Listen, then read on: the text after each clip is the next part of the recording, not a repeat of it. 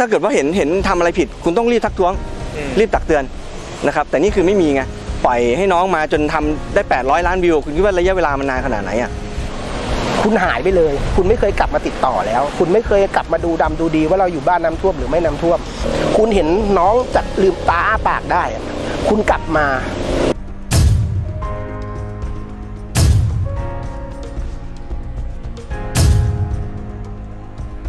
ำหรับความคืบหน้าล่าสุดในคดีของสไปร์แรปเปอร์ชื่อดังที่ถูกต้นสังกัดเก่าฟ้องร้อง ทนายเจมส์พร้อมคุณพ่อและคุณแม่ของสไปร์ได้ออกมาให้สัมภาษณ์หลังจากขึ้นศาลว่า อีกฝ่ายลดให้ครึ่งหนึ่งเหลือ 7 ล้านบาท แต่ยังไงก็ยืนยันว่าจะไม่จ่าย จากนี้เจอกันในชั้นศาลเท่านั้น เพราะที่ผ่านมาตั้งแต่เซ็นสัญญา ไม่เคยมาดูแลยามลำบากเลย ขนาดตอนบ้านน้ำท่วมก็ไม่เหลียวแล มาวันนี้พอสไปร์มีชื่อเสียง จากการผลักดันด้วยตัวเองและพ่อกับแม่ จะมาเรียกร้องหลังจากหายไป 6 ปี คิดว่ามายุติธรรม ส่วนที่สไปร์ไม่ได้เดินทางมาขึ้นศาลด้วย ก็เพราะว่าติดงานคอนเสิร์ตอยู่ที่ต่างประเทศ ค่ายเก่าของน้องสไปซ์เนี่ยฟ้องเนื่องจากอ้างว่าผิดสัญญานะครับที่น้องเนี่ยไปร้องเพลงตามสถานที่ต่างๆ ลง YouTube ปฏิบัติการแข่งขันโดยไม่ขออนุญาตเขาซึ่งเป็นค่ายเก่านะครับแต่ว่าจากข้อเท็จจริงที่ผมสืบในทางสื่อของผม ก็ปรากฏว่ามันมีการบอกเลิกสัญญากันแล้วนะครับทาง Facebook ทางอะไรก็ทั้งสองฝ่ายก็เลิกสัญญากัน อันนี้จากข้อท็จจริงที่ผมสอบมานะเขารวมยอดมาด้วยวันนี้ทั้งหมดที่น้องร้องไปเนี่ยเพลงอะได้ 800 ล้านวิว แต่น้องไม่ได้รายได้จากตรงนี้ มันเป็นของช่องขอคืนสัญญาหลายครั้ง แต่เขาไม่ได้ไม่ได้มอบสัญสญญาให้ต้นฉบับให้เนื้อแต่ว่าเขาก็พูดในในในกล่องข้อความอะนะครับที่มีการบอกกันอะว่าสละสิทธิเรียกร้องแล้ว สละสิทธิเรียกร้องที่ที่มีต่อต่อตัวสไปซ์แล้ว หมายถึงยกเลิกสัญญานะครับ คือถ้าเกิดว่าคุณยังคิดว่าคุณยึดถือสัญญาอยู่ ผมไปประกวดตั้งหลายงาน โด่งดังระดับประเทศ ไม่บอกสักคำอะว่าอย่าไปนะ ต้องขออนุญาตผมก่อน พ่อเขามองอย่างนี้นะเพราะในเมื่อคุณไม่ทักท้วง ก็เท่ากับว่าเขาเขาบอกเลิกสัญญาโดยปริยายไหมถ้าเกิดว่าเห็นเห็นทำอะไรผิด คุณต้องรีบทักท้วงอืมรีบตักเตือนนะครับ แต่นี่คือไม่มีไง ปล่อยให้น้องมาจนทำได้ 800 ล้านวิว คุณคิดว่าระยะเวลามันนานขนาดไหนอะ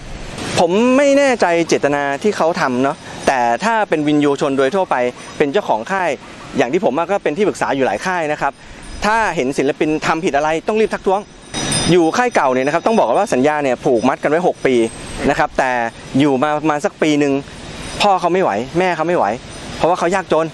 นะครับแม่เป็นเจ้าที่โรงพยาบาลธรรมดาเอง เงินเดือนไม่ไม่ไม่เท่าไหร่ พ่อก็รับจ้างขับรถเป็นวันนะครับรายได้ไม่มีนะฮะก็ยังอุตสาห์ไปยืมเงินคนอื่นเนี่ยมาเพื่อลงทุนให้น้องไปแล้วผลักดันลูกตัวเองเนี่ยจนมีชื่อเสียง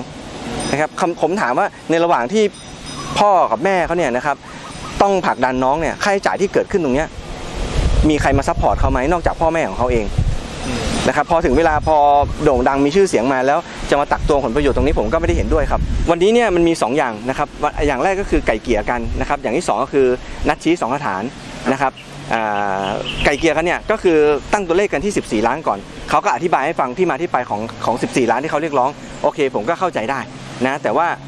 มันอันนั้นเหตุผลของเขาส่วนเหตุผลของผมก็มีอยู่อีกมุมหนึ่งว่าเงินมันไม่ได้ผ่านน้องอะเงินมันผ่านช่อง คุณก็ไปฟ้องเรียกเจ้าของช่องเอาสิ เงินเข้าเจ้าของช่องไม่ได้เข้าน้องนะครับ ถ้าคุณจะเรียกจากน้องก็เรียกได้เท่าที่น้องมีรายได้ อันนี้สมมติถ้าถ้ามีสัญญาอยู่นะนะครับจะกี่เปอร์เซ็นต์ก็ว่ากันไปตามสัญญา พอคุยไปคุยมาก็จาก 14 ล้านก็เลยลดลงมาเหลือ 50%ก็คือ 7 ล้าน ท้ายที่สุดผมก็เลยปรึกษาทางพ่อแม่ว่าเจะเอายังไง พ่อแม่เลยมองว่าในเมื่อวันที่เขาลงทุนด้วยตัวของเขาเองผลักดันด้วยตัวของน้องเอง ไม่มีใครมาช่วยเหลือ แล้วเขาทำตรงเนี้ยจนประสบความสำเร็จ แล้วจะมาขออาส่วนแบ่งตรงนี้เขาเลยมองว่าไม่เป็นธรรมสำหรับเขา แต่อย่างน้อยนะครับน้องหรือพ่อแม่เนี่ยยังสำนึกในบุญคุณที่เขาหยิบยื่นโอกาสในครั้งแรกที่เขาให้ยังมีอยู่เสมอครับตรงนี้ ก็คือ 7 ล้านก็ยังก็ยังไม่ยอมอยู่ดี ก็ยังจะสู้ต่อกันไปอีก มันไม่ไหวครับ 7 ล้านคืออย่างแรกก่อนอย่างที่ผมบอกไงว่าเงินมันผ่านช่องครับช่องของใครคนนั้นได้รายได้ แต่น้องเนี่ยไม่ได้รายได้ตรงนั้นจะมาเอา14 ล้านเนี่ยผมมองว่าไม่ไม่เป็นธรรมสำหรับน้อง พอไก่เกลี่ยไม่จบปุ๊บก็เป็นการชี้สองสถานวันนี้ก็โจทย์ฟ้องว่ายังไงจำเลยสู้ว่ายังไงศาลก็จะกำหนดประเด็นข้อพิพาทพอดีท่านมองว่ามันมีประเด็นอยู่แค่ประเด็นเดียวเองท่านเลยไม่กำหนดก็เลยให้สืบกันไปเลยนะครับเพราะว่าฝั่งหนึ่งฝั่งหนึ่งบอกว่าสัญญายังมียังมีบางผลบังคับอยู่อีกฝั่งหนึ่งบอกว่าไม่มีผลบังคับแล้วเลิกสัญญากันแล้วเพราะนั้นประเด็นมันเลยมีมีไม่มีความ ซับซ้อนนะครับท่านเลยให้งดชี้สองสถานแล้วก็ให้นัดสืบพยานกันสองนัดครับก็คือจะมาคุยกันอีกอีกสองไม่คุยรอบไม่คุยไม่คุยสืบพยานกันเลยครับ อ๋อสืบพยานก็คือตอนครับนี้เป็นเป็นเป็นการที่ต้องศาลเข้าเข้าสู่กระบวนการของศาลแล้วถูกต้องครับสืบพยานกันเลยก็โจทย์สืบ5ปากผมสืบ 4 ปาก วันนี้น้องน้องติด